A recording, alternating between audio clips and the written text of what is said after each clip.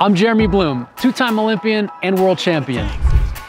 I know firsthand how important our mountain snowpack is for both the ski industry and to the future water supply of our state. The snow that we're skiing on this winter becomes the water that flows through our rivers and supports our farms and communities the rest of the year. Join me to help conserve and protect Colorado's most vital resource. Start by finding out where your water comes from and learn more at water22.org.